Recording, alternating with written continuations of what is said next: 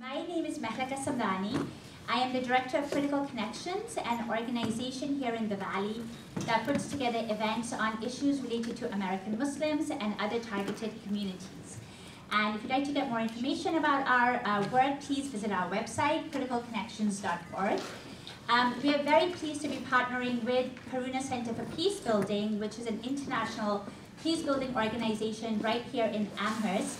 Um, and you'll hear more about their work from Ginny Morrison, who will be moderating our event today. And so Karuna Center and Critical Connections have been partnering on this series called The Many Dimensions of White Identity, Politics, Power, and Prejudice. And what we're trying to sort of explore through the events in this series is the history, prevalence, and resurgence of white um, supremacist groups and also movements that are sort of rooted in white identity and the way they have manifested themselves in violent movements, in recent elections, in voting patterns, etc.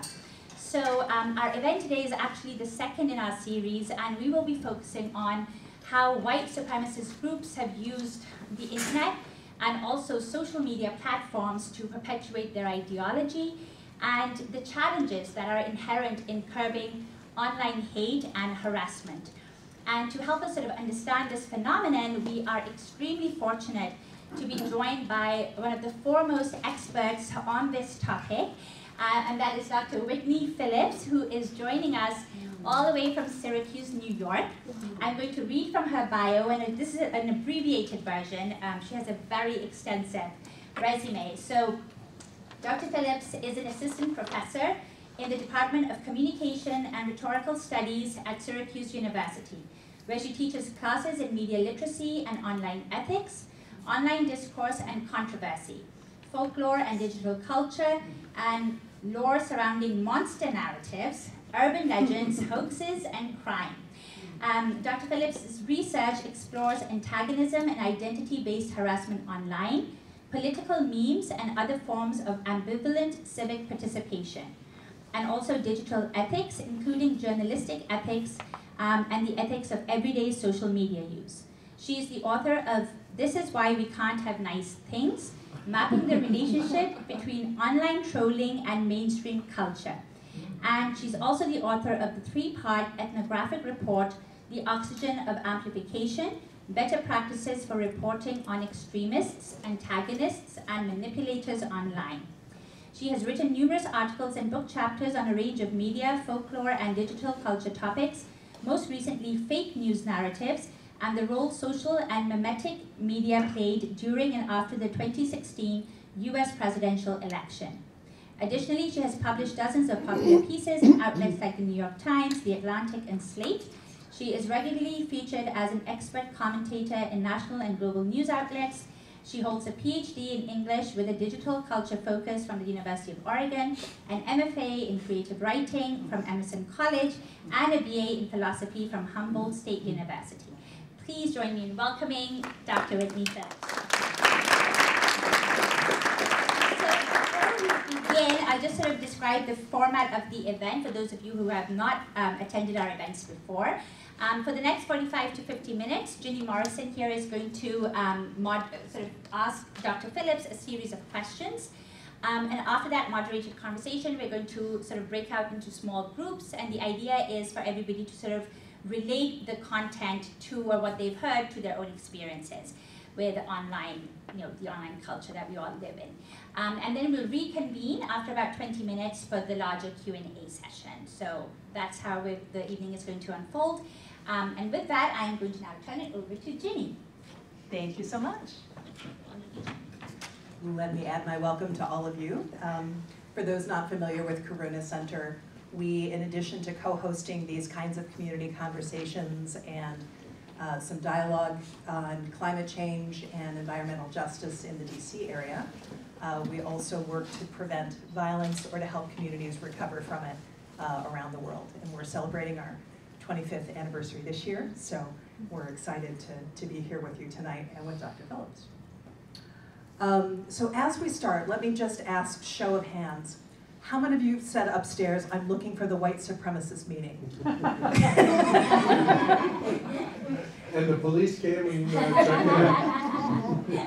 Okay, so that may be the last laugh we have tonight, so I wanted to start with one.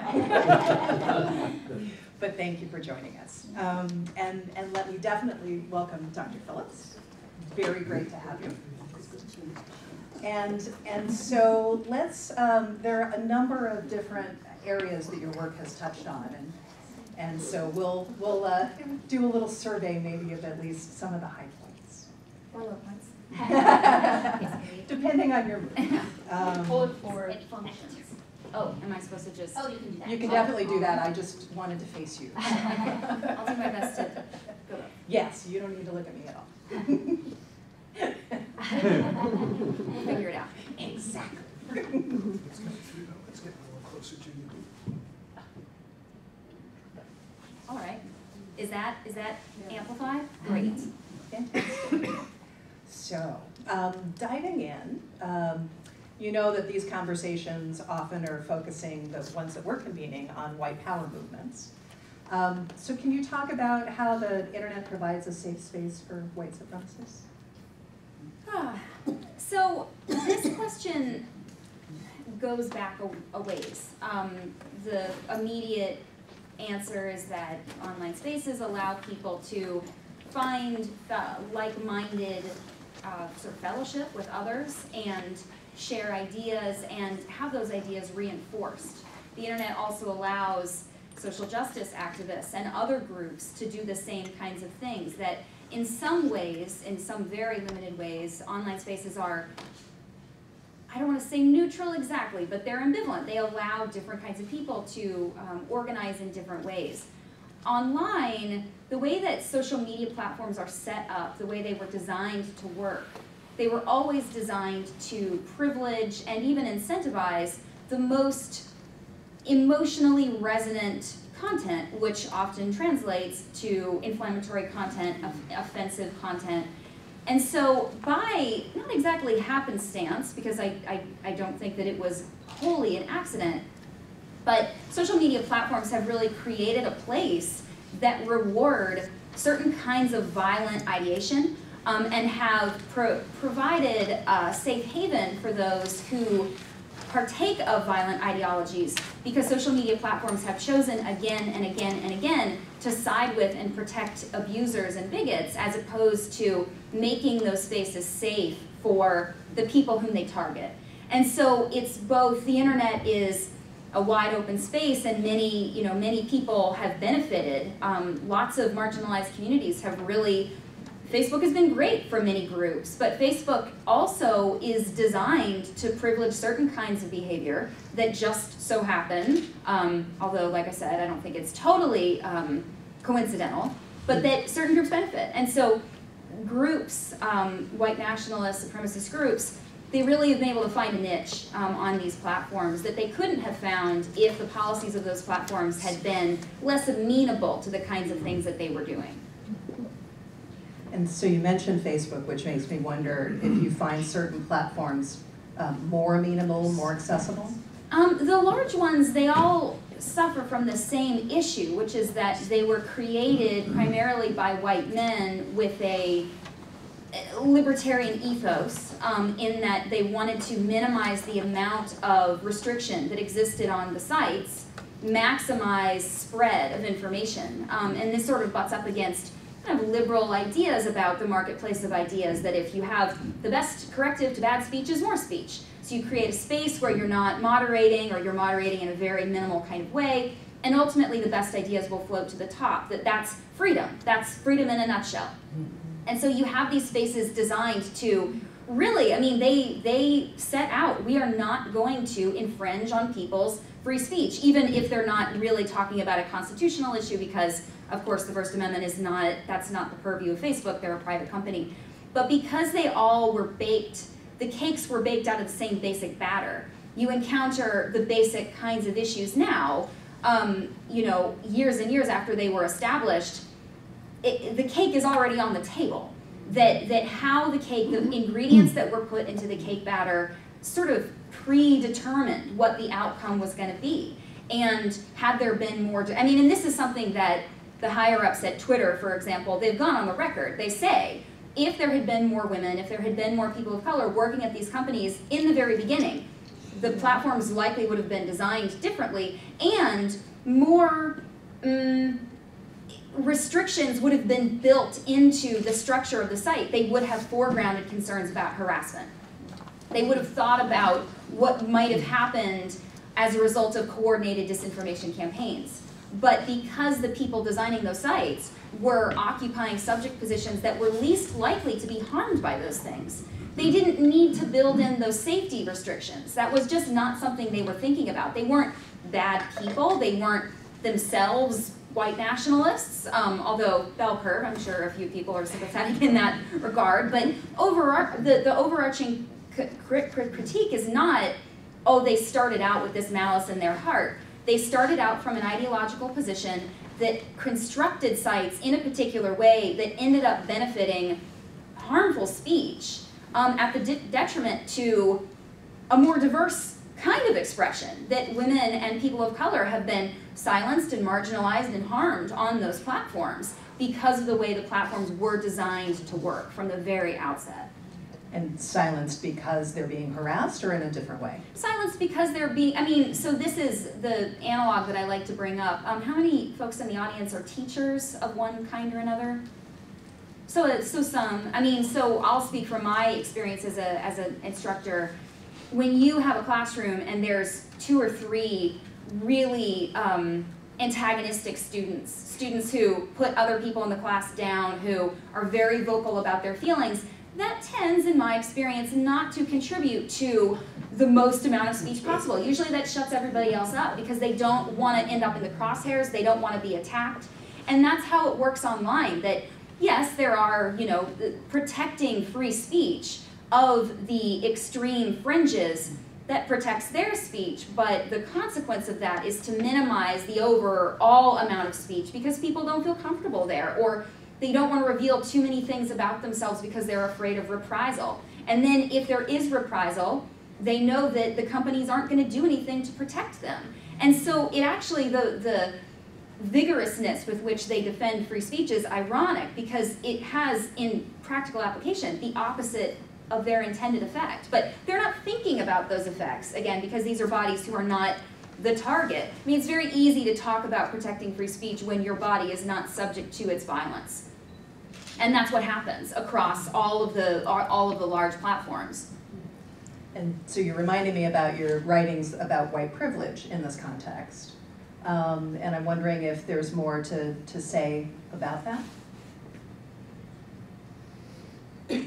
So, whiteness, whiteness broadly, yeah, that has been, especially, so I'm finishing up the, a, a book right now, and the book is titled You Are Here, A Field Guide for Navigating Polluted Information. And it's about how do we make sense of a landscape that is so inundated with mis and disinformation that you can't easily distinguish what's true from what's trash. It's very detrimental to democracy, regardless of what you know political affiliation you hold. It's not great for democracy right now. And in that book, what me and my co-author are doing is we're sort of we're trying to trace how did we how did we get here? Where why did we end up here? And part of it is thinking about the ideological the ideological reasons that social media platforms were designed in the way they were. So that's talking about the subject position of the creators of these sites.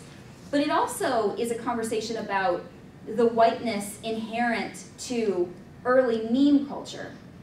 And so it, I'm going to go into a little bit of that history. If, if there something isn't clear, if a concept, if you've not heard it and you want me to back up and explain, please some, just put your hand up and let me know. Um, but meme culture is these days subsumes a ton of stuff. Basically, if you've ever shared or seen a funny picture with text at the top or the bottom, that, that qualifies as meme culture. It emerged as a thing that people referred to in the early mid 2000s on this website called 4chan, which was a simple image board. Um, it allowed people to post anonymously, whatever it is they wanted, and the board had dozens of subject-specific boards, but the most famous, the most infamous board was the B board, B is in boy, um, and that was the random board. And that was where the term troll, in an internet sense, first emerged. And Chris, well, the term troll had existed, but it didn't have a it didn't have a self-identifying flavor yet. It was, a troll was something you accused someone else of being when you thought they were annoying, when they were interfering with the proceeding of an online com- communication. Troller or troll. Early mid 2000s on 4chan, trolls started to adopt that as an identity. And while they were doing this, they were creating just an unbelievable amount of content. And they referred to, they embraced it as meme culture. The term meme had existed before that too, but because this particular space at this particular moment caught on with a particular subset of the population. So this was younger white men, technology savvy, um, my brother, that was why I started researching this. Um, so basically like video game types. And it was more, I mean, there, there, I would have gotten in a lot of trouble in 2008 if I had said that, but retrospectively, it was video game types. And so they had this place suddenly that they could congregate. The structure of 4chan is inherent to the development of what we understand now as meme culture, because on 4chan, the board, it was this very not particularly sophisticated website. It could only hold so much. The owner and creator of the site, who was 15 at the time he created it, he didn't he didn't he didn't have enough server space, and so the way that it worked is that content would fall off the site. It wasn't archived. And what that did is it forced people, if you liked a piece of content you saw, you would better save it to your computer and remix it and then post it again. And the most popular ideas and images floated to the top basically. So it kind of functioned as a sort of upvoting process. And the what emerged from that, because so many tens of thousands, and this was this was wild because so this is still in the early mid 2000s. I started researching it around that time. I could tell based on the way they communicated in my classroom who participated on these sites. Wow. That the subculture was so specific and so widespread. It was I often described it. It was the most influential culture that people didn't realize they knew a lot about because all of these young white men were walking around sharing this language. If you couldn't speak it, you didn't know it was happening. But it was happening, so I could I always knew. I always knew who the troll was in my room. And so you have all these tens of thousands of, of young men from a similar sort of middle class, um, and it originated in the US and it traded primarily in American popular culture, although also some Japanese stuff, anime. Primarily, it was it was a U.S. thing, centered thing. Um, so they all come at it from similar experiences in life, and there's so many of them constantly doing this, and the site could only hold so much that basically the only responses that could succeed were the ones that were terrible, that were poorly made, that were haphazard, because if you spent 20 minutes making a really nice Photoshop, your moment would have passed, and it would then fall, and then your, you wouldn't be able to upload it again. So people had to produce really basically crappy content just to keep up with the pace of the site. What that created was um, an aesthetic that ultimately outlasted the technological restrictions of the site.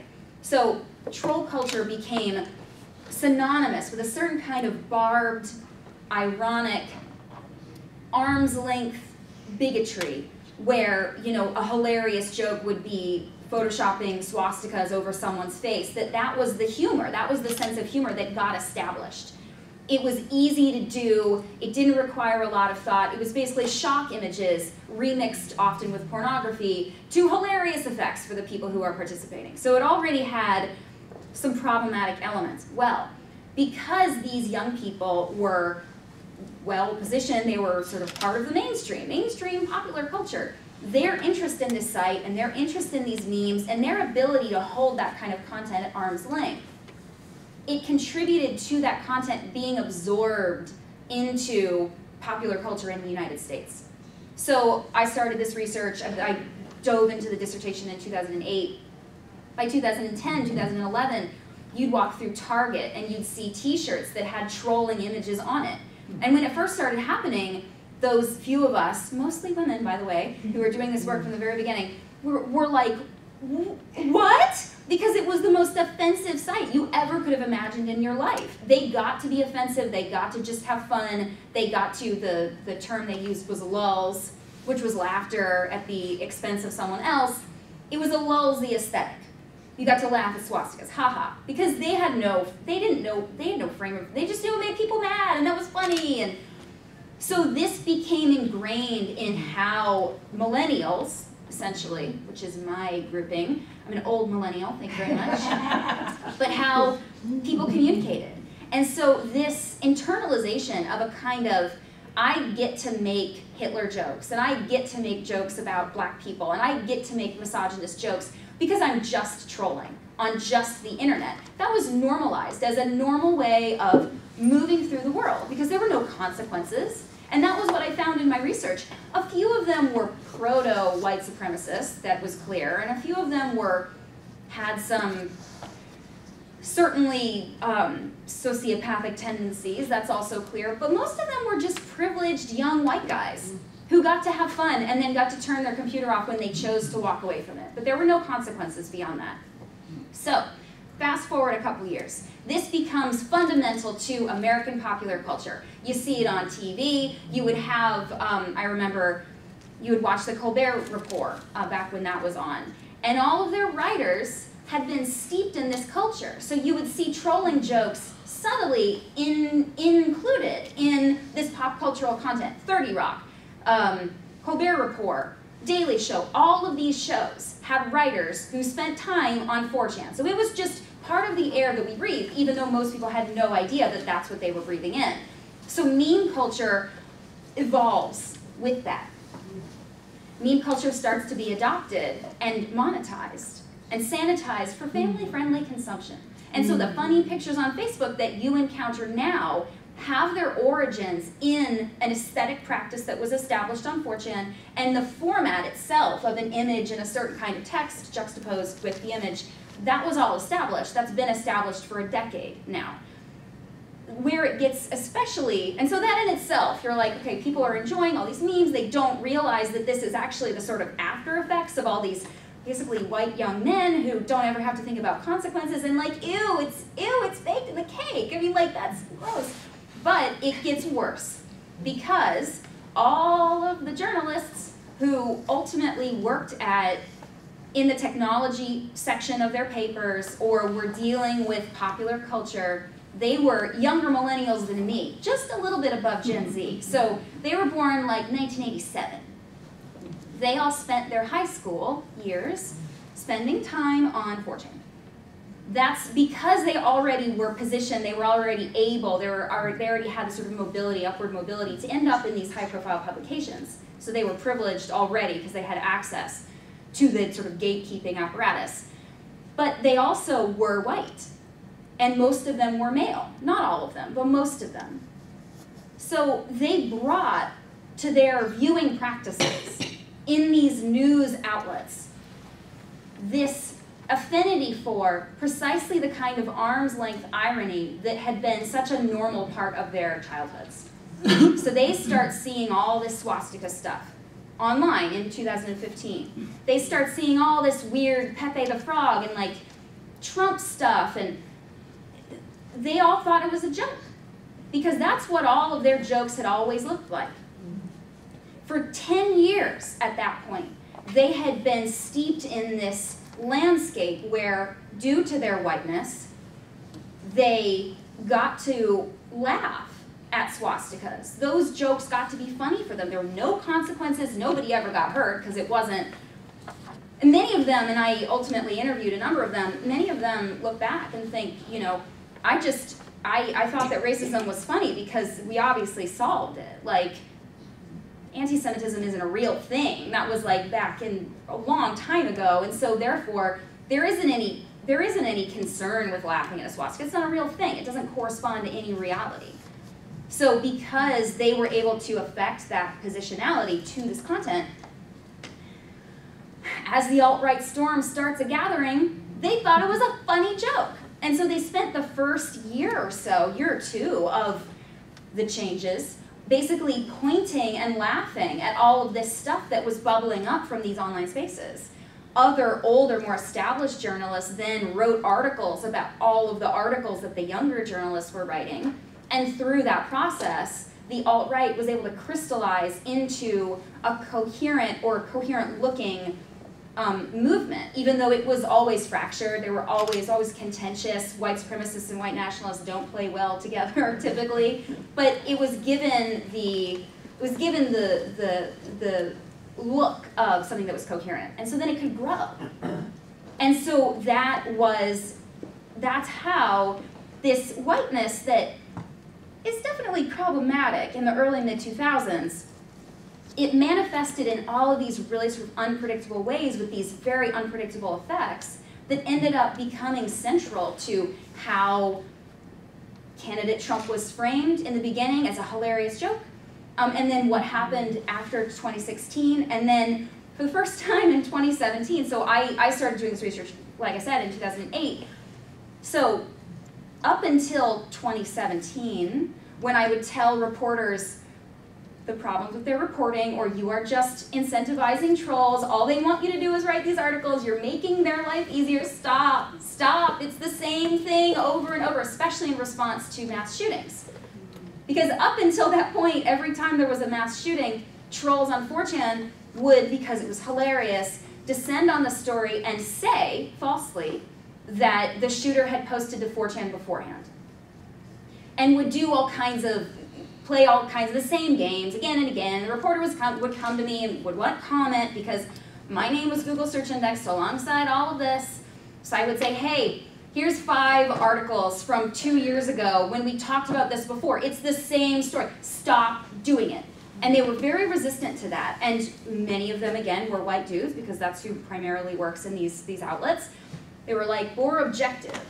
We just have to call attention to it, and everyone will know it's ridiculous. Oh no, it's a terrible joke, and then everything will be fine. So that was the pervasive attitude, which also stems from a kind of whiteness, this idea that you get to be an outside observer, you get to occupy a view from nowhere. After 2017 and Charlottesville happened, suddenly many of them started to sing a different tune. And many of them realized for the very first time that all of this stuff that they thought had been a joke for three years at that point, turns out they're actual white supremacists. And one person who I interviewed told me that she had been seeing all this swastika stuff and Trump stuff and Hitler stuff, and she always assumed it was a joke, like it had always been a joke, and didn't really think twice about it at all. And then Charlottesville happens, and so then she decides, okay, I'm gonna, I've heard people talk about this white supremacist website called the Daily Stormer. I'm actually gonna go there now. I'm gonna go there. She went there. Every single thing she had been seeing in these jokey spaces was what she was seeing there. She had no idea. And it devastated her. And so the reporters that I worked with, and, and so again, I'm, I'm working with these reporters this whole time.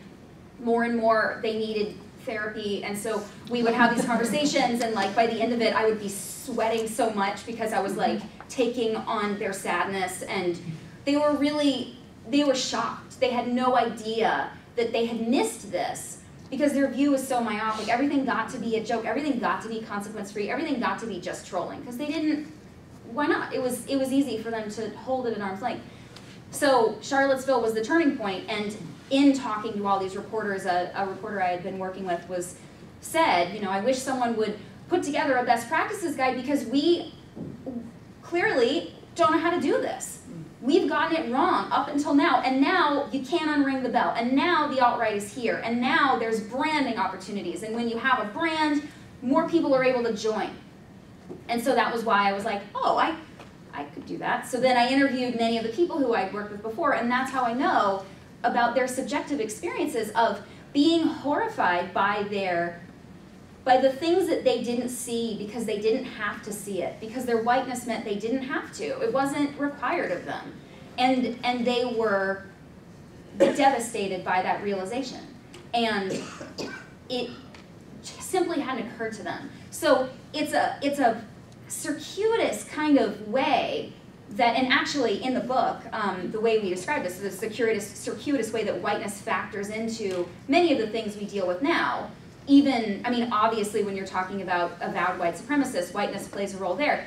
But unexamined whiteness of many other people helped facilitate the rise of those white supremacists. They couldn't have done it without that journalistic amplification and the, essentially the stamp of approval that they got. So in the book, in the chapter where we talk about this movement, the unifying metaphor is that of the redwoods root system. Because in the redwoods, the way that the mycorrhizal networks connect the roots underground is that it's very difficult to distinguish biologically where one tree ends and another begins. It's so densely interconnected. Trees share resources. They talk to each other in their tree way. Um, and, and so if you introduce poison into one side of the forest, it's going to suffuse out in all kinds of ways you can't see because it's underground. But if the trees start getting sick over here, the trees over there are going to start getting sick. And that's what happened to us. And that's what happened to us as a country we didn't see the poison that was being filtered through because of unexamined whiteness. That's the untold story of the rise of white supremacy. The obvious, the white supremacists are obvious. They're, they're clear. We can see them. They're vocal, right? It's the other stuff that's more difficult to identify and much more diff difficult to respond to because that gets to identity issues that many white people are either don't see or aren't willing to see.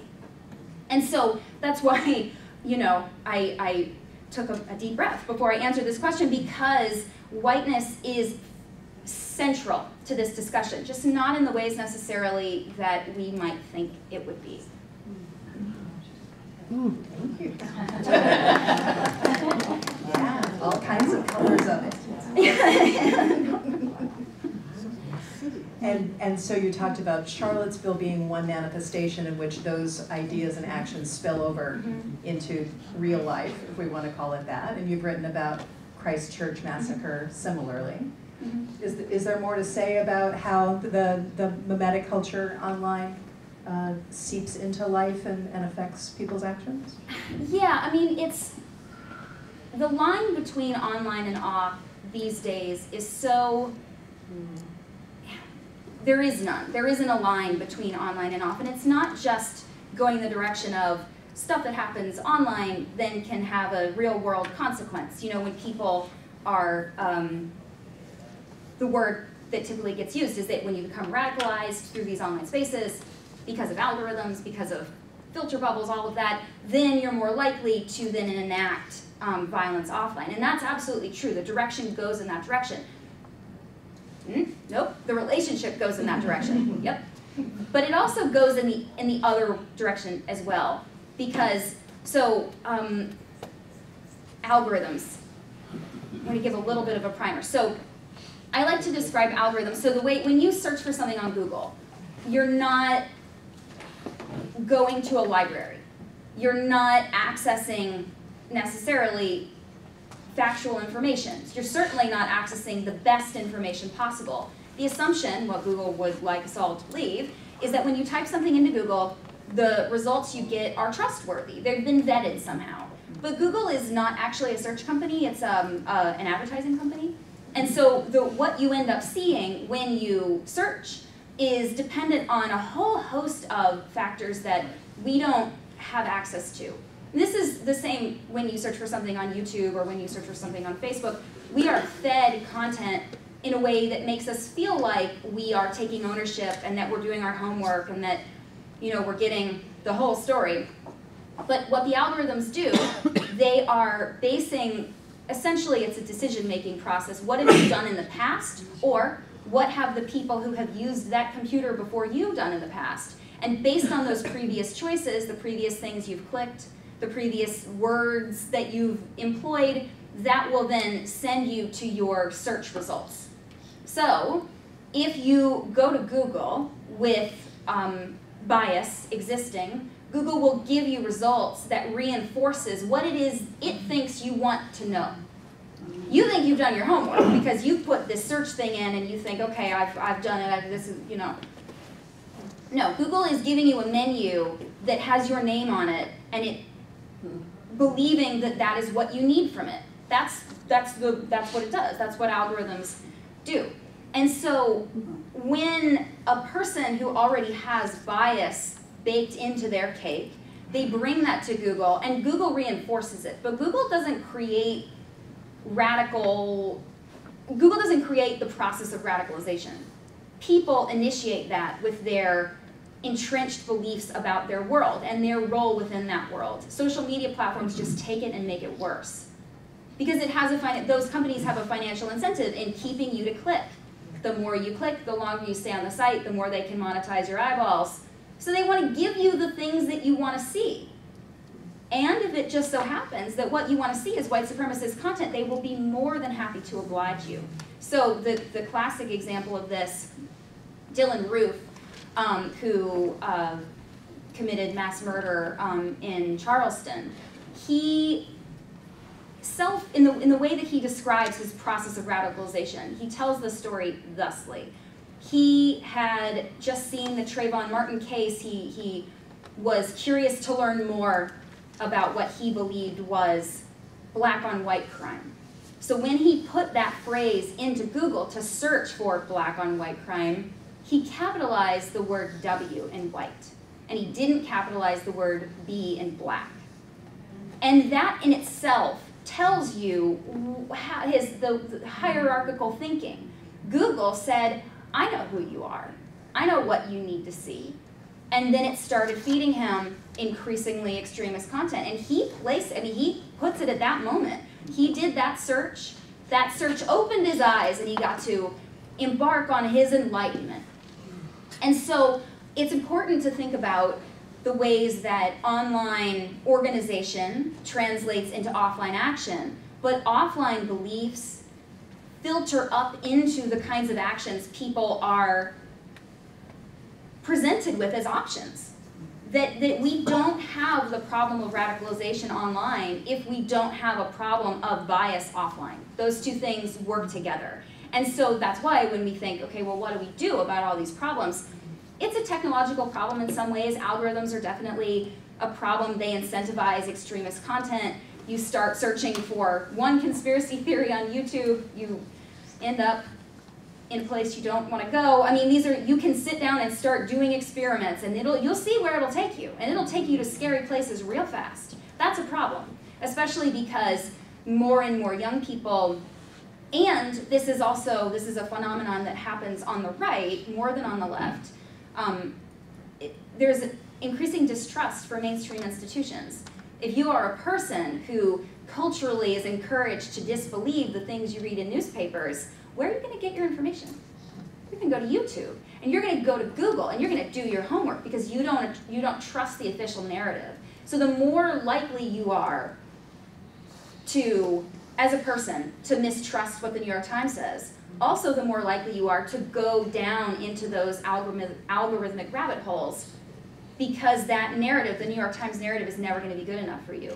And that happens in a different way on the right than on the left because on the right, since the 1950s, you know, folks on the right have, certainly evangelical Christians, there's been um, mistrust of secular media. That was, and so in the 1950s, evangelicals um, who have always been extremely technologically savvy, very good at adopting new technologies, really ingenious um, in that regard, they start building their own alternative media networks with radio stations, with television stations, all of these sort of networks that existed outside of the mainstream because the mainstream wasn't working for them.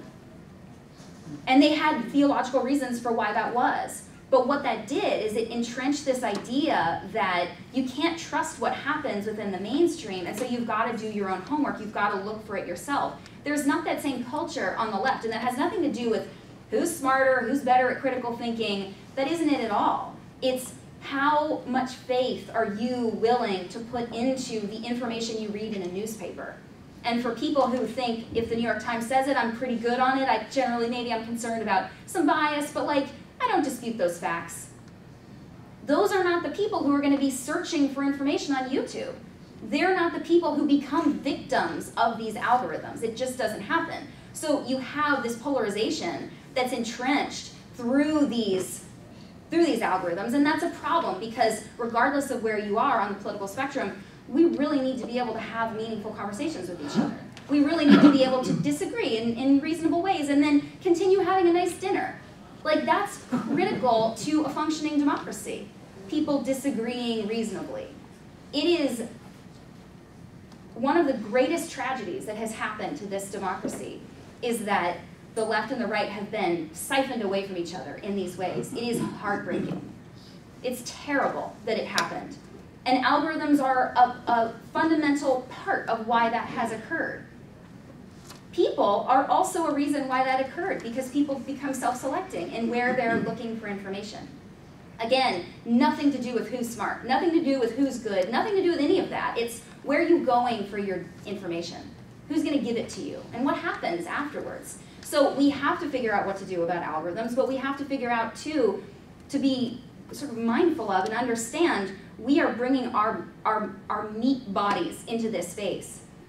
And then, and then, and then the strange things start to happen, the more strange things. Well, and you're also describing that, that it's the values that we bring into it also. So, um, you're pointing me to something I hadn't recognized before, which is not only the polarization between left and right, um, but that that is maybe one of the real distinctions between the, the right that you're describing and the traditional right, Mm-hmm. because Republicans are the party of institutions. And so that Were- schism.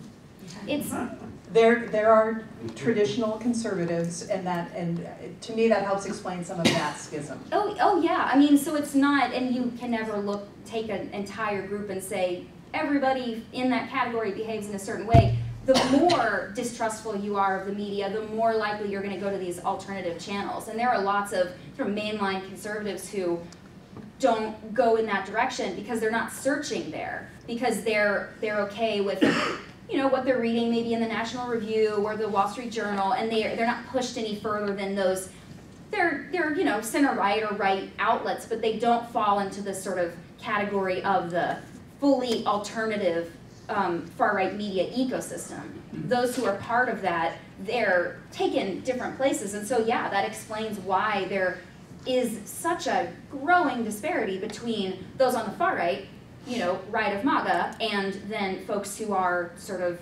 traditional, sort of Reagan-esque um, conservatives. And that's something that I have to be, so when I teach media literacy and I explain how this works, most students don't know how Google works, but most adults don't know how Google works either. So it's not, you know, this isn't a function of the kids not knowing how the technologies work. The technology companies don't want us to know how their technologies work because we would be horrified if we did.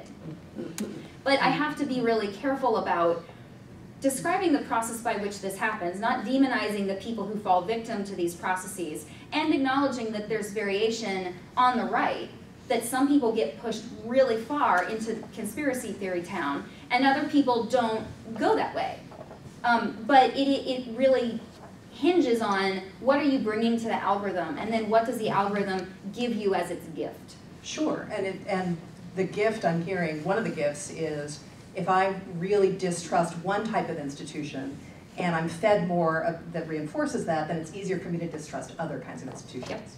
Yep, and that's, and so then when I, in my classroom, I hear students, we- you know, I don't, I don't, I don't read any of the news, they don't, you can't trust any of it, so I get my news from YouTube.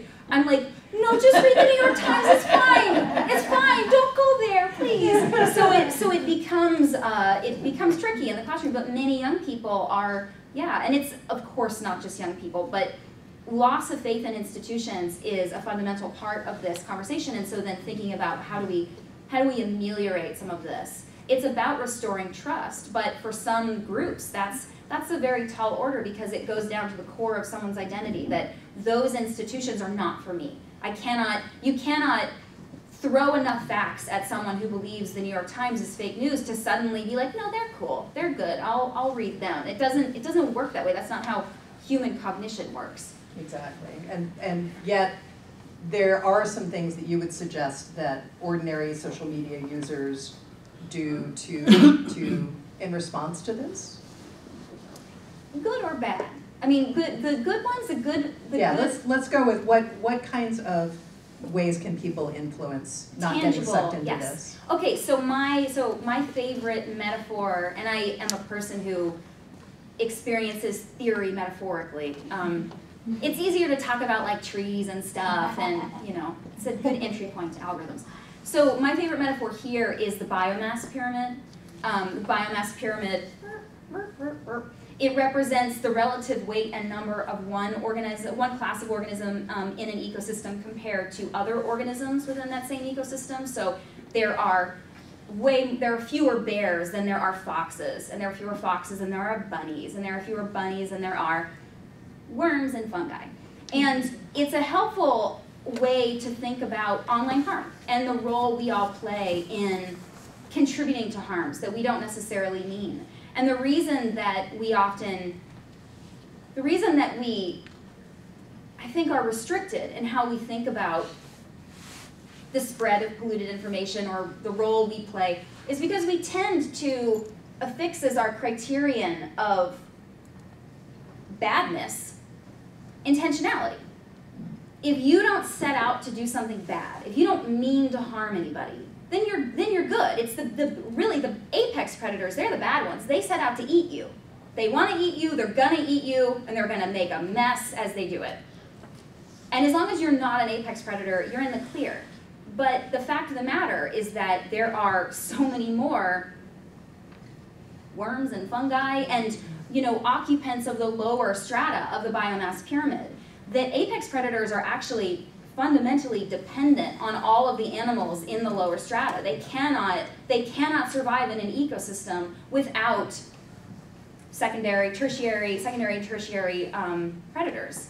And so when we think about how harm works online, it's very easy to point at the apex predators because they do a different kind of damage. A violent white supremacist is, is dangerous in a way that a, an everyday person isn't. That's just a fact.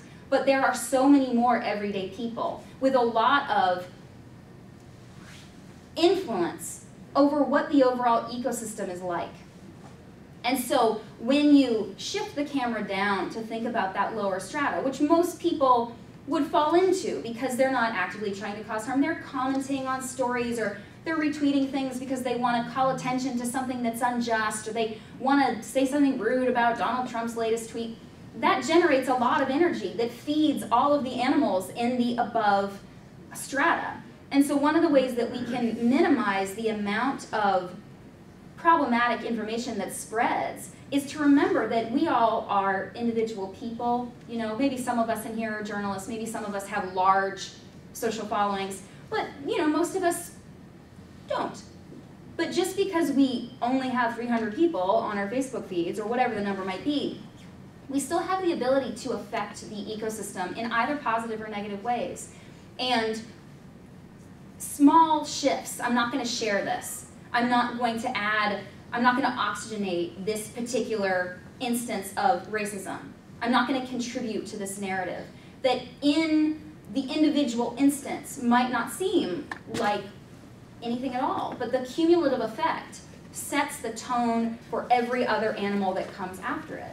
And I think that foregrounding all of us, we all have a role to play. We all, we all occupy a position within this ecosystem. Yeah, we need to talk about the apex predators, of course, because they're dangerous, but we are here too. And we matter too, and our actions can cumulatively make a difference. And actually, and I don't like violent metaphors generally, um, but can starve the apex predators because they can't do what they do without our help. And so it's a way of reframing the conversation to be a fundamentally empowering one that yes, we there is a risk in everything we do and say. We can inadvertently contribute to all kinds of harms. But because that power is in our hands, it means we can choose something different. And that is where I hope conversation about everyday ethics goes. It's not just about finding ways to punish and deplatform neo-Nazis. We've got to figure out what can we do, not once Facebook gets its act together, which it never will, and not once the mm. government figures out how to regulate social media, which I don't know if it ever will either. What can we do tonight? That's where we are. We have to start making those changes now because we are in trouble.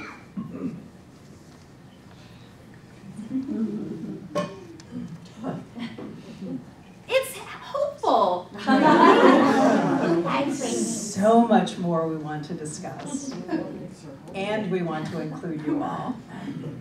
So let's, let's pause there with the slogan, get out there and be fun guy.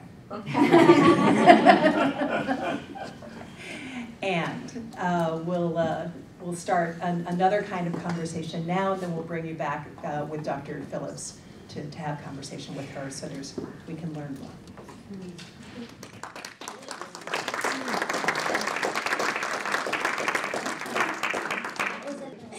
All right, so we have a question right. Just to pick up on where you left off, I sort of felt the oxygen go out of the room by the time you ended, but your comment, your words were,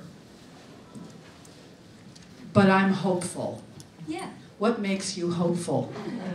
Um, I, it's that's a great question, and I maybe hopeful isn't quite the word, but but I, I feel resolved. Um, you know, we're faced with a choice. We can either try really hard and maybe we'll fail, or we can not try and we will fail. And so I, I think that there are um, opportunities for us, all of us individually, to make some changes in how we interact with each other and what we're able to see, what we're thinking about online. And again, individually, we can only make so much difference, but cumulatively, we, we we can. We can, we can start changing the way we can start changing what is normalized. I mean, I was saying, um, as we were talking up here, you know, part of what needs to happen is right now when we talk about what happens online, it typically is a conversation about it's an ethics of rights, my free speech, and not just my free speech, but my right to be heard. You know, my mm-hmm. my space, my you know, all of this stuff that that's about ownership and individuality and what you should be able to do. And that makes sense because that's sort of baked into the liberal tradition in the United States.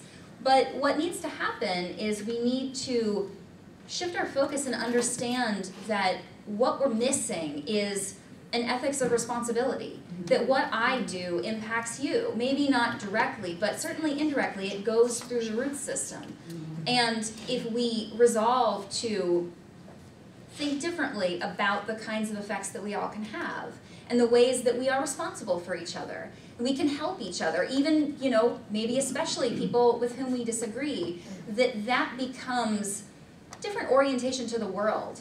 And I, and I think that when you, if, I believe that there is a way to describe this to people, to explain to them why it is that your fate is tethered to mine. And once we're able to arrive at that mutual understanding, then frankly, healing can begin. And that is going to take a lot of individual work, and that takes a lot of resolve, and that takes a lot of heartbreak, and it takes a lot of anxiety, but I think it's possible. And but more than that, I think not doing that is worse. And so am I am I is my life full of levity at the moment? No, I feel terrible all the time. I there's not a single day. I mean, and I'm being very serious. There's not a single day that goes by that I work on this that I don't at some point start crying. I am very worried about our ability to recover from this. Mm-hmm. And maybe we've crossed the line already. Maybe mm-hmm. that's a possibility. Maybe it is. But maybe we haven't. And so, how do we go to bed at night able to sleep? You know, it's mm. trying. It's it's looking, trying to see other people as other people, and not letting social companies um, and governmental policy stack the deck against us so high that we lose the ability to really connect with each other in a way that's meaningful. So, it, it's a it's a it's a complicated sort of optimism or hopefulness. I don't know. It's it's belief that we can, and that we should at the very least try. Just to add briefly, we have a project uh, right now in Nigeria in an area where communities very quickly get whipped up into violence in minutes. And one piece of that is working on the kinds of things you just said, helping people around us that we connect with already, our family or the people who listen to us, um, to restore these ethics. So I don't just do it myself, but I talk to the people who will listen to me. And maybe, um, and the other piece of it is monitoring our social media for when it starts to go off the rails and feeling responsibility to say something about that. To say, this is escalation, let's bring it down.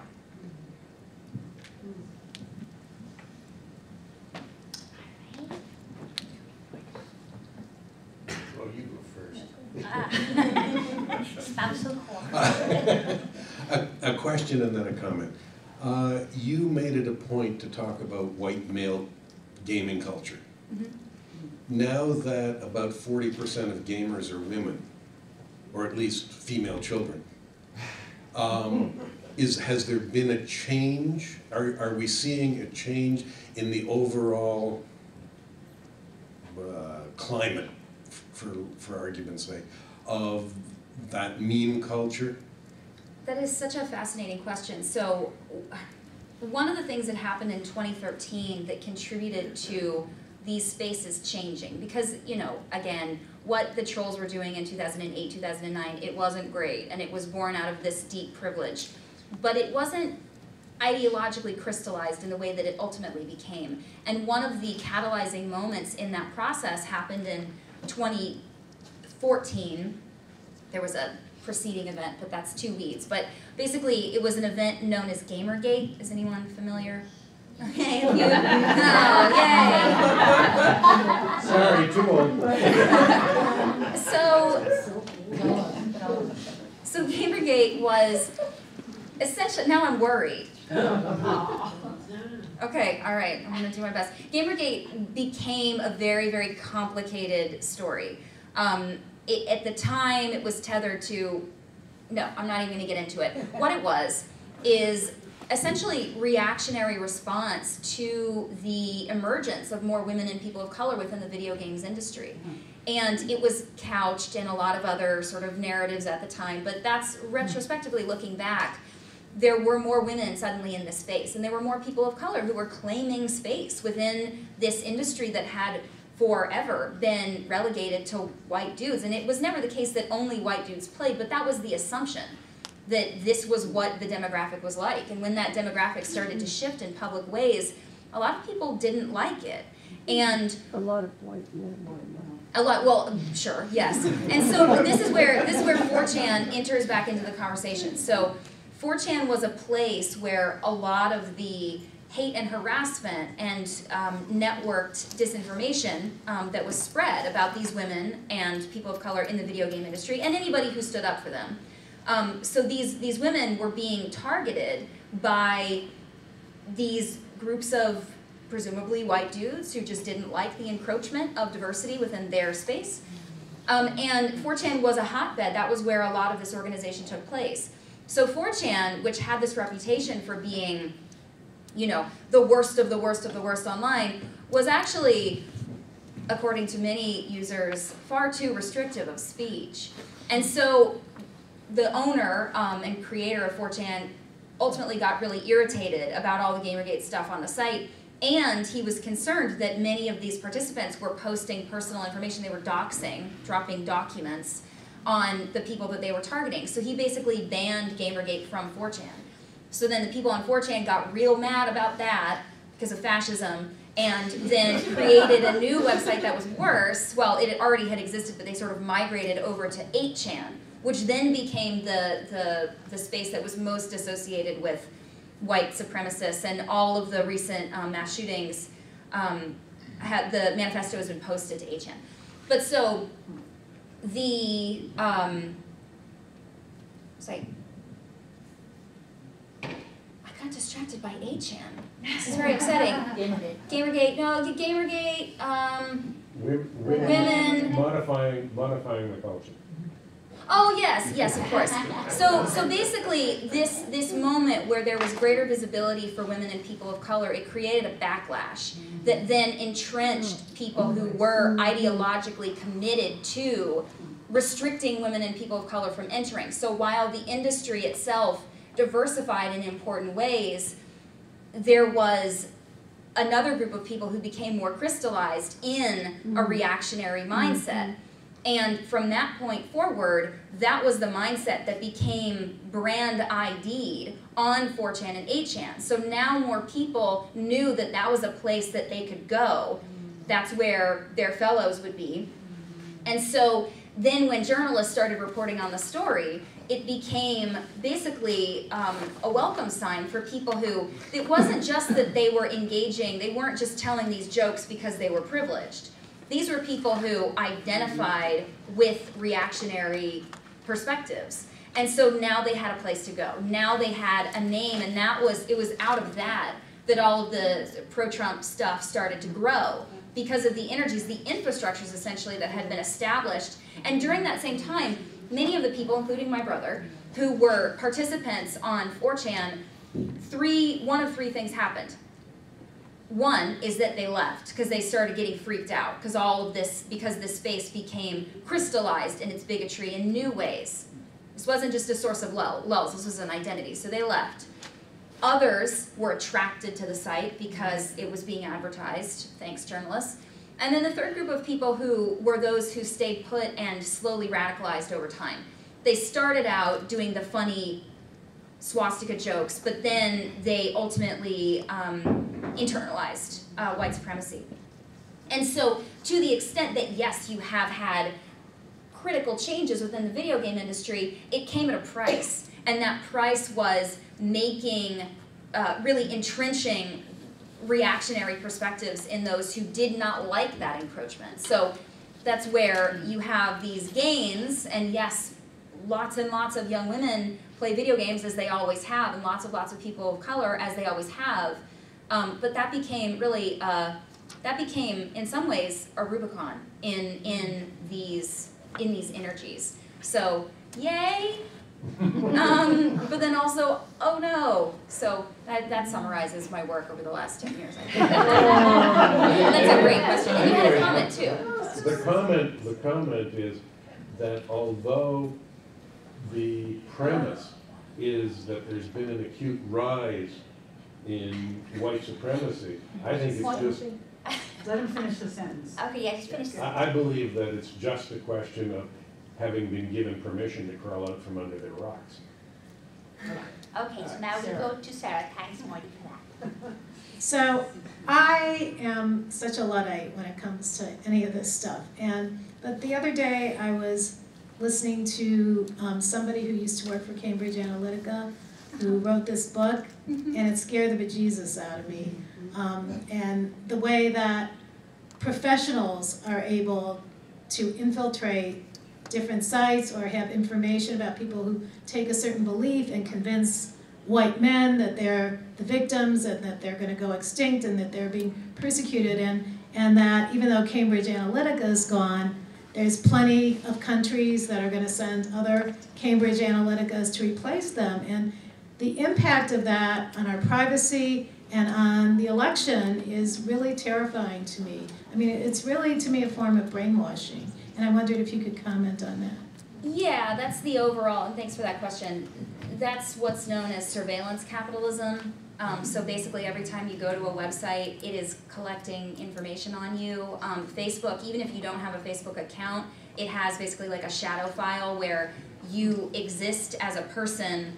Um, this is really what makes Facebook so valuable um, as a company is it's not just the immediate advertisements that they sell, it's that people who buy ads on Facebook have access to basically their files on you. And that data can be used in all kinds of ways that I mean, think about it. If you if you basically your entire life, your entire self is quantified and captured in a folder of information, anybody who has access to that information would be able to seed things into your feed potentially or feed you advertisements that would be not just responsive to your previous behaviors but predictive of your future behaviors. It would set in motion behaviors that you could undertake. Um, and Cambridge Analytica was sort of an early harbinger of that. The problem is that we don't, Facebook and none of, no one is very transparent about how this works. The companies are not transparent about what it is that they do with your data. So we don't quite know the full effects of where this is going to take us. But of course, when it comes to political campaigns, you know, this was why the Trump campaign wanted to work with Cambridge Analytica because they wanted to micro-target advertisements that would be that would compel people to click on something because they had a profile on you and knew what would get your goat. Mm-hmm. So if they have a way to figure out what will get our goats, it really raises not just privacy concerns, it raises questions about free will. I mean, like there's nothing, nothing less than that. So we are at the precipice of fully understanding the sweeping consequences of that. 2016, 2016, and this is not going to sound very hopeful at all, but 2016 will be child's play to what's coming. Mm-hmm. It's already started. We are we are in the middle of it. And so, yeah, these these things that most folks don't quite know how they work or that they work or what data is being collected on them, then how do you know that you're actually clicking on something because you're choosing to click on it? What if it's the algorithm? Like it really raises all of these mm-hmm. deep existential questions that we don't have the answers for because we allowed these technologies, we allowed these companies because they provided a convenient service. We want to see our nieces and nephews pictures. that they were helpful enough to us that we allowed them to become ubiquitous in our lives before we fully understood what they were doing and the impact it would have on our democracy. So trying to dig out of that hole before we even know how deep the hole goes down um, is a tall order. So, sorry. Oh, thank you. Michelle, and then we'd like to hear from some students as well. So I used to be a free speech absolutist, and the more we get into the weeds with this stuff, the less I am. And at the same time, my Facebook feed is kind of an open town hall meeting where people don't have to agree with me to post, they do have to stay civil. I've only had to throw out two people. The more recent one called someone a raghead and refused to take that comment down. So goodbye. And um, but um, it's it, it's a, a very sticky dialectic. I, I work under the assumption that we haven't had privacy for 40 years anyway. Um, I used to give the FBI agents I thought were listening to my phone in the 1970s my recipe for chocolate mousse. but um, I wonder is there a way to instill the skills of sorting through this, the media literacy, of the uh, analysis of what messages are actually real? My younger child took a class at PVPA in which one assignment was to follow a story on three media with three very different biases. So Raphael was following one story on Democracy Now! from the left, the New York Times from the center, and Fox News from the right. That, I think, every should be required. How can we get something like that into the culture? Oh dear. Um, it, uh, yes, I mean, I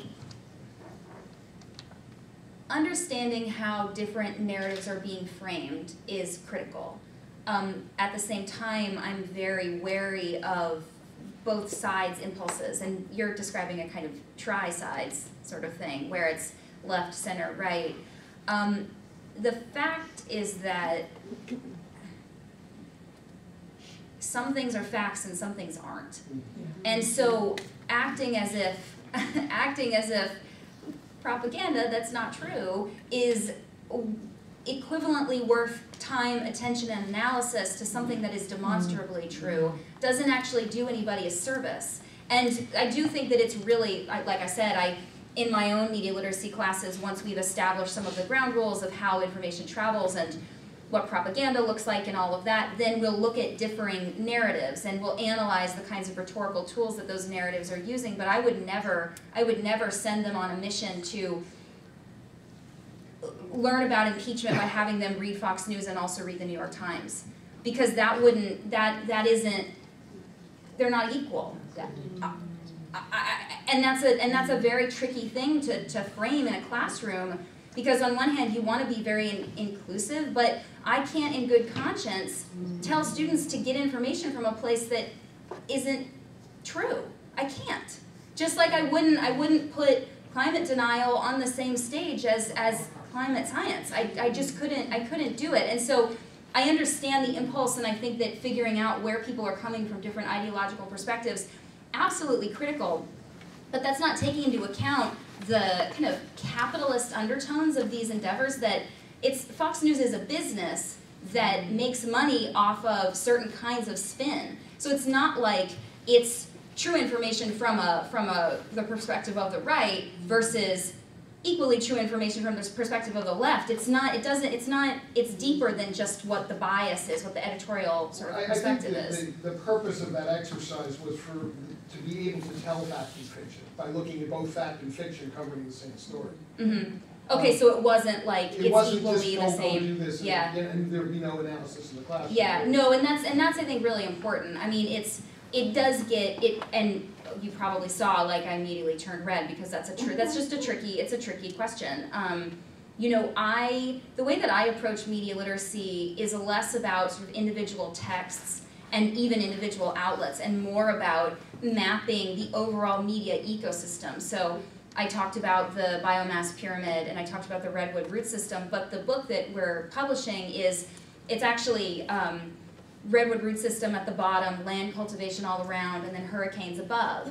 And each of those metaphors is a is an entry point into understanding how information flows and how you fit within it. And so by triangulating yourself within, you know, alongside the roots and all the farming that's happening, and then the storms that rage over, uh, overhead, you can see it's not just whether or not a claim that Fox News made is true, it's how does Fox News fit into the overall media ecosystem? How does it influence the New York Times and how does the New York Times influence it? And then how does individual citizens responding to any of those stories then influence the kinds of future stories that get written? And so I think it's more it needs to be more multidimensional and more holistic as opposed to looking at individual texts to analyze and debunk. Because as it turns out fact checking and debunking is really not an effective strategy when it comes to media literacy. Because if you are approaching so there's something called the boomerang effect which is one of the scariest things that you'll ever hear. And that is if you think that the source of information is biased and that source of information tells you something you will be convinced of the opposite so if the new york times says qanon's not a thing everybody but you think the new york times is fake news that's going to be a good reason for you to start doing your own research about QAnon because you don't trust them. Mm-hmm. So these efforts to approach certain stories as texts to analyze, trust me, I mean, I'm an educator, critical thinking, thumbs up. But it can have unintended consequences when you're not thinking about how all of our different systems interact with each other and how we interact with them. is exhausting to do. It's very you can't you can't do it in a four minute answer.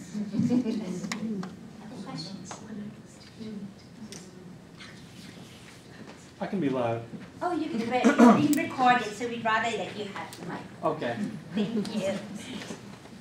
You can go too far, you go. I'll just stand. I know. Hi there. Um, ooh, uh, so I'm an honor student at UMass doing my uh, thesis on this topic. Oh. Um, so radicalization and de-radicalization. Ah. Um, so I was wondering, I have a couple questions. Uh, I don't know how much time we have. Um, so first of all, um, what do you have to say about the um, emergence of Discord and how now all these conversations that were happening on public platforms like 4chan and 8chan are happening in closed spaces with the same people bouncing ideas off each other? it makes it much more difficult to figure out what you're looking at. I mean, one of the biggest sort of dangers in reporting certainly is that it's often very hard to know what you're look what you're seeing. That something can look like one thing online and that one thing would or should generate a certain kind of response. But if it's actually something else, then that response can do more harm than it does good. And different platforms like Discord or other, Telegram is another one, or other private or semi-private spaces, it means that people can do sort of backstage coordinating. On 4chan, and they, the participants on 4chan and 8chan relied on this at the end. Um, 8chan is now gone. Um, after the El Paso shooting, when the White Supremacist Manifesto was posted, they, the, the server, the people who were providing server space were like, sorry, we're not, you have to go it reemerged um, through the dark web though, so it's harder to access. Um, but so the originally the dark um, was that a question? No, about? I just said the good old dark web. Yeah, no, the good yeah the good old dark web. So it's it's still accessible, but it just is an additional sort of barrier to entry. Um, but these spaces. hmm. These spaces originally they they seeded stories so that journalists would descend on the story. They know they knew to go to 4chan, they knew to go to 8chan, so they could manipulate journalists by leaving them crumbs, and the journalists would report it out, and everyone would laugh. Here, you have additional layers of potential subterfuge because you have people not just posting content but coordinating at the same time on spaces that journalists don't have access to. So it's even harder to know what you're dealing with and how you should best respond, where did it start. There are problems with explainer articles that just kind of give you a greatest hits of all the most offensive memes, but at the same time you can track it. You can figure out where it's coming from and what it ends up doing. Now it's harder to do that because these individuals have needed to become more diffuse because their stomping grounds have been stamped out. Um, you see the same kind of trouble in Brazil. Um, the number one social platform in Brazil is WhatsApp, um, if anybody is familiar with. So they have a hell of a time um, figuring out what to do about disinformation campaigns because you can't track where it starts. You don't have access to the group. And therefore, you can't see where it begins and how it spreads and how you might direct um, you know, if uh, debunking or fact checking is something that might be appropriate, it wouldn't even necessarily be possible when you're talking about these kinds of spaces. So it creates a lot of complications that exacerbate the existing complications of these more public-facing sites. So it makes the job of a disinformation researcher that much harder. And they, um, they just have more places to hide. I do. Are there other people with questions? Yeah, there are. So we'll come back to you. There, if You can email me if you Oh, have excellent. Great. Oh, oh, but if, but if you can, you can, maybe we'll have Ask time. in public, yeah, yeah. So if, would you like to, did you have a What question? is your? I just want to go to people who had already raised their hands. W-H-P-H-I-L-L-I, Wafili, Say it again. W-H-P-H-I-L-L-I, Wafili, I, I don't know, at syr.edu. Yeah, it's on the Syracuse University website. So you do Syracuse University, Dr. Whitney Phillips, and it'll come up too. Yeah, please, I invite all of your emails, please.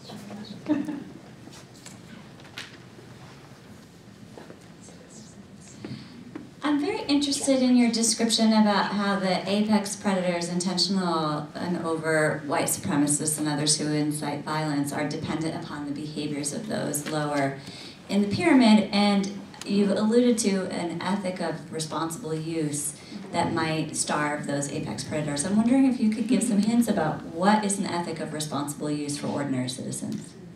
Yeah, that's a great question. I mean, so one um, classic example of apex predators would be the president of the United States. Um, he's so when Donald Trump tweets, and I'm not being facetious actually, when he tweets something, it only carries so far. He only says the things he says one time. Um, they get repeated over and over and over ad nauseum because all the journalists cover it, because individual citizens respond, because they retweet it. Um, algorithms don't care whether you're responding to something out of disgust or out of support. So simply by engaging with content is going to float it. If you if there's suddenly a mass response to any content, algorithms note that it's happening, and then on the usually the right side of the page, it's going to then give you trending topics. And so then when something is trending, then more people are going to click it, and then it becomes an even bigger story. So without all of those mechanisms, Donald Trump could never have become President Donald Trump. He was always reliant on the signal boosting of mainstream news outlets. And mainstream news outlets at the time kind of knew it. They just thought he was hilarious. And mm-hmm. so they knew it would be good for clicks. So it was a symbiotic relationship until suddenly it wasn't. Um, but in terms of what it is that people can do, the first thing to remember is that we are never outside the stories that we're commenting on. That we often, whether we're journalists or not, but just as a particular ethos within journalism, um, we're never, there's never a view from nowhere. We're never a casual observer of content. We are a part of a story the second we engage with that story. Heisenberg. Hmm? Heisenberg. It's it, it just is and that's something that just doesn't get it doesn't get discussed because the assumption is that I'm gonna this is what Donald Trump did. This has nothing to do with me. I'm just saying that this is absurd or, or whatever your reaction to him would be. And an ethics of responsibility would take seriously the idea that we are all always right in the middle of it. That we are a part of, so the hurricane metaphor, um, the, the way that it works in the book is that you would, a hurricane is formed through a whole amalgamation of all kinds of overlapping variables. It's the wind speed, it's the temperature of the water, it's the axis of the earth. It's all of this different stuff that results in the formation and movement of a hurricane. You would never, in a million years, point to one gust of wind and say that's a hurricane. But that's what we tend to do with online mm-hmm. stories. That we talk about things as being separate from everything else, including ourselves. We're not part of the story. We're always part of the story. And it might be a small part because we're maybe a fungus, but we're still part of that strata, we're still part of that ecosystem, and understanding that and recognizing what I choose to do, how I choose to respond to Donald Trump, has some effect, and I might not be able to see it. I might not know exactly what that effect is, but just recognizing that we're part of it is, it changes your relationship to that content because then suddenly it's not a text. Then suddenly it's an ecosystem that you are a part of. And reframing our online activities in that way, it, it is, it requires a greater sense of it's a greater emotional burden to carry because we don't have the luxury of just saying like this has nothing to do with me. Everything has to do with the things you do. But it does create it normalizes a kind of sense that what i do connects to you and what you do connects to me. And then that hopefully can change the kinds of choices that people feel compelled to make when they realize that they're part of the story.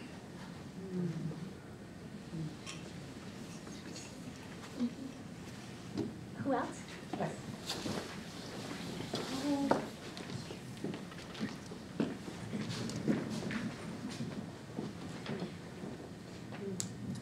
All right, so we're part of the story. That's where we are in the story right now. And we decide to leave the story. Uh, just, is it possible? I oh to opt out Well, and, and in this case, I mean, you know, if I decide to use social media for the good, then it's okay. Right? That's what we say. Or we don't use social media. Uh, you know, so just go with that threat, you know, it, it, what, what are the choices really? And, you know, yeah, I'll just, I'll just stop, I, I'm, I'm just going with that idea. It's, yeah, we're in a position, all of us, where many of our professional lives are contingent on us utilizing social media in one way or the other. We've kind of been put in a, in a position where fully opting out is not possible. Um, some people have more of an ability to step away, but other people, small business owners or people who are involved in an activist community, they can't just they can't just leave. And it might be it would if we could, if it were possible to totally disconnect, then I would advocate for that. But many people's circumstances require that they engage on these platforms. And so then the question is, how do you do it? How do you do it more thoughtfully? Um, and that's where the sort of uh, question of best practices comes along. And I would say that you know, thinking about what are some of the most important things to take away. If I if I were to give you one thing that you would take into your into your outside life, um, it's understanding how our tools set us up to fail. We can be the best people in the world, and we can be so well intentioned. Our politics can be strong, and yet we can still contribute to the problem. That's why I like using the term polluted information um, instead of disinformation or misinformation, because like physical pollution, we all pollute. There's no way for us not to pollute as human beings. It's a part, we, we have to sort of minimize, um, minimize what it is you are putting into the world. But awareness that what you throw out on your curb, that that might sort of curb uh, your impulse to just like let it all fly. So that's why I like that um, particular term. But in terms of what is it that we can, what is it that we need to know? It's that point of how have we been set up for this to be the outcome? And the tools that we use really put us in an impossible situation. And it happens in two primary ways that interfere with our ability to make thoughtful ethical choices. Not because we're bad, but because this is how our spaces are set up. The first are the um, affordances of digital media writ large. So there are four. Um, modify, and they go together, so pairs. Modifiability and modularity. So that's basically the ability to cut things up into little pieces and modify it and do funny remixes and add text and do all the kinds of things that's creative and great or also terrible and racist, either way. But all the stuff that allows us to be creative and playful with our, with our online content. Um, to take something big and then make something smaller out of it. You take a whole film and you take out your favorite reaction shot, your favorite image, your favorite whatever.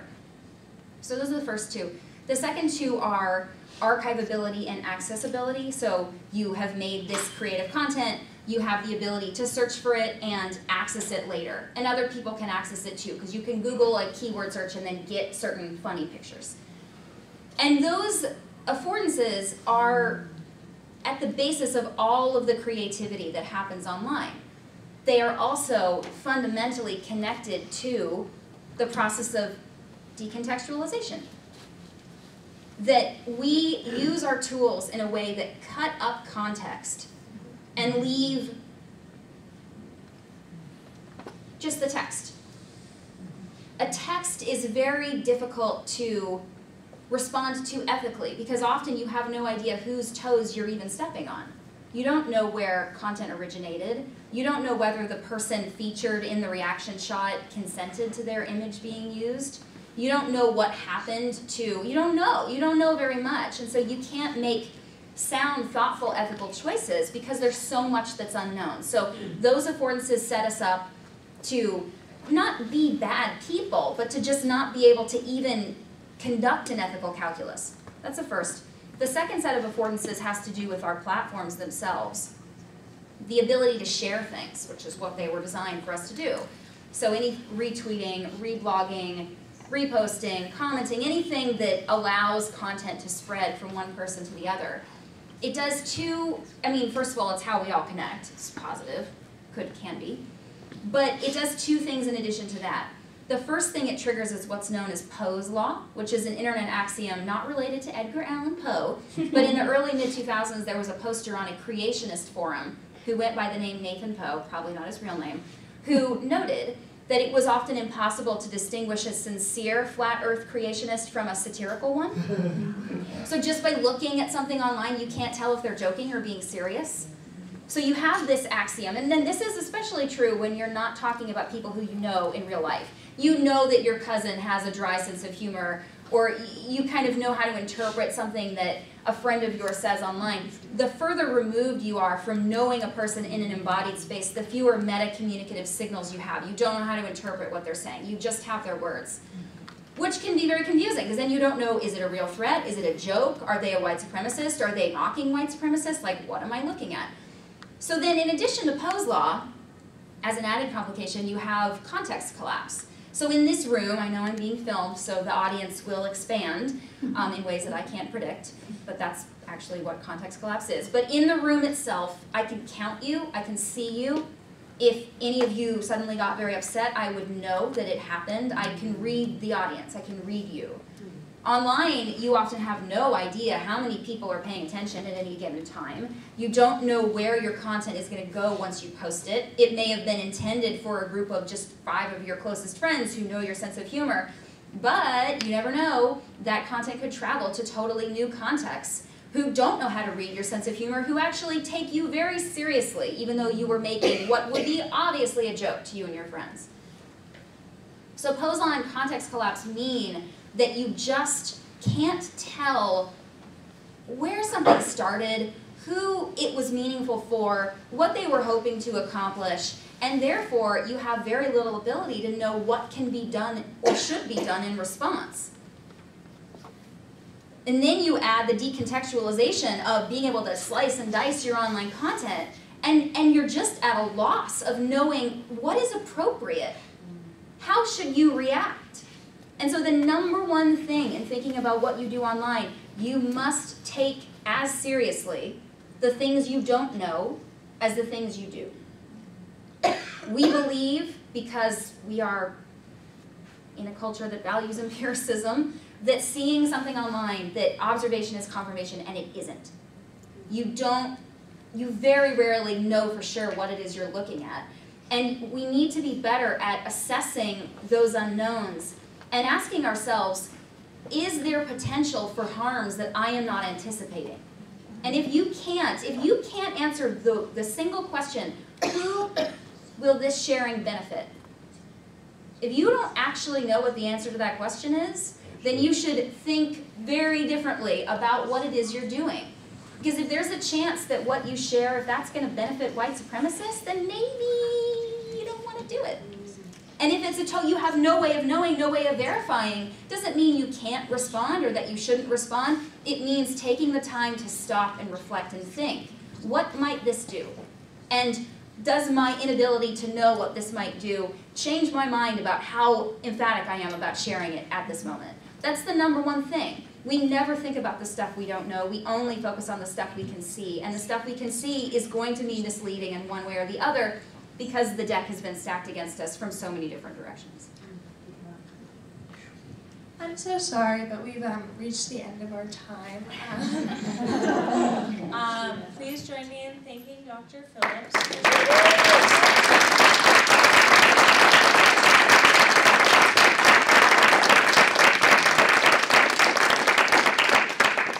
And thank you all so much for coming and engaging. Um, you can check our website, criticalconnections.org, for our upcoming events. And And karunacenter.org. So. And thank you to Jenny for moderating.